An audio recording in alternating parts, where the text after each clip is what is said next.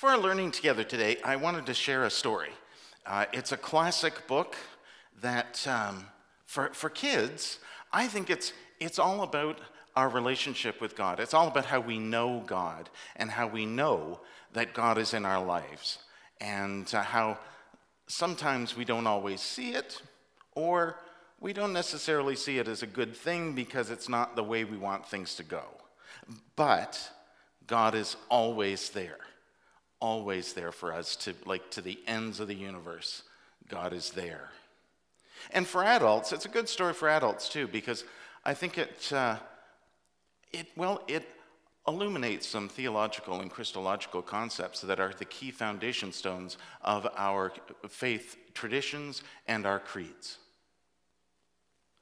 It's called Mars Needs Moms. Please watch this.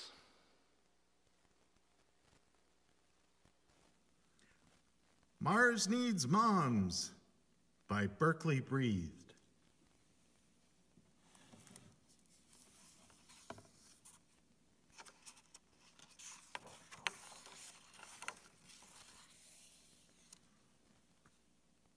Mothers. Milo often wondered what was so special about them.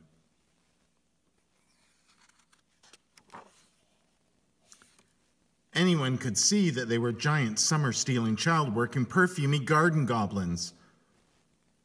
There was hardly much special about that.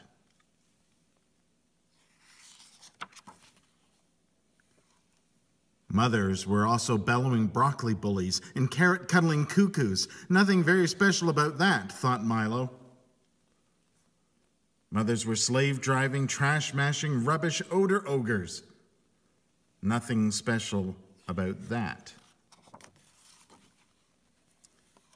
And mothers were thundering, humorless tyrants.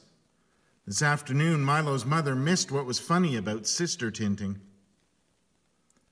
Up to bed now, she thundered. Tyrant, barked Milo. No supper, said his mother. As she left his room, Milo yelled, I sure don't see what's so special about mothers. She paused when he said this, and then closed the door very, very slowly. Exhausted from his fit, Milo fell very, very asleep.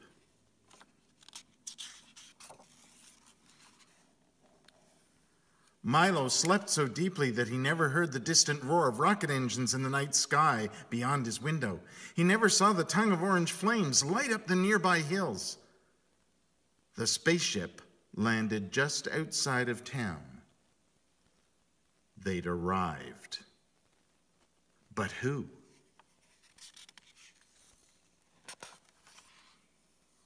Martian raiders.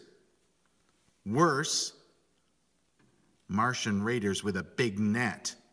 They climbed down from their starship and gazed over the town below, looking for that most marvelous treasure. Treasure that could never, ever be found on Mars. A treasure called moms. Ooh, they thought. To nab just one of those any mother would do. They don't have mothers on Mars, you know. Martians grow motherless from the ground, just like potatoes. The raiders had some early mom nabbing trouble. Bolder action would be needed. Milo awoke to strange sounds down the hall.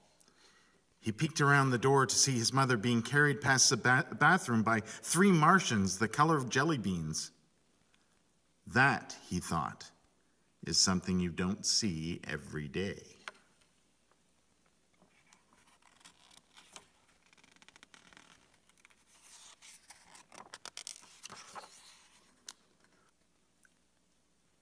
Milo chased the Martian raiders and their now awake prize out of the house and down the streets and into the hills and up to the spaceship, which roared into the night sky. Milo suddenly wondered why he would want to be dangling miles above Earth, chasing his carrot cuddling mother. he decided to figure it out later.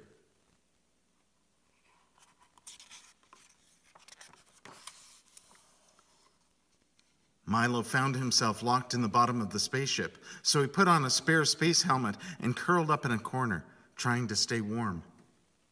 He slept as the ship sped towards the distant red planet.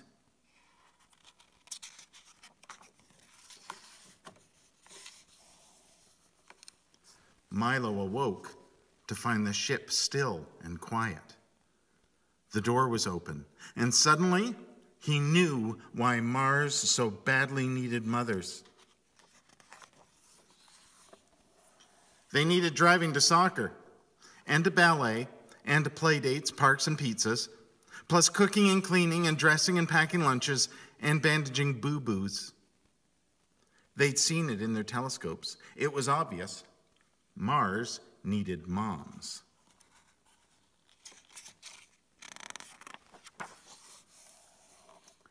How perfectly, completely sensible of them, thought Milo.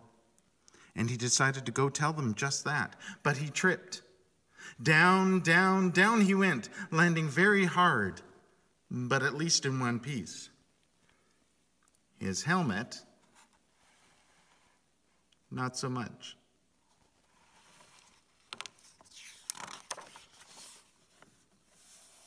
Milo gasped and he choked. As anyone knows, breathing Martian air is like breathing mustard. He sucked it in and instantly grew weak and dizzy, and things began to go dark. Milo was fading. He barely sensed someone approaching. And he barely sensed the gentle hands place her own helmet over his head. Milo opened his eyes, and for the first time, he saw neither a broccoli bully nor a slave driving garden ogre. He didn't see a tyrant or a dictator or a weary driver to soccer games. Suddenly, he knew what was special about mothers. She looked at him, smiling, and said, I'll love you to the ends of the universe.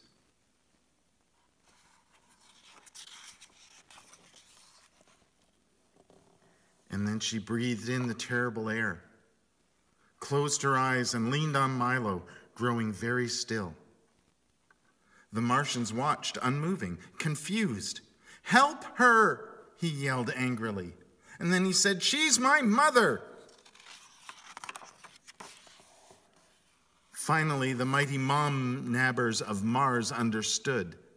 Their wonderful telescopes had seen many things about mothers down on Earth, but like certain little boys, they'd missed the best part. The Martians quickly fetched another helmet and hoped that it wasn't too late.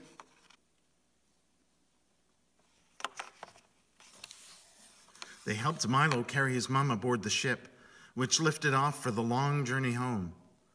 Her eyes remained closed as they soared through the stars. Milo would stay curled close to her all night.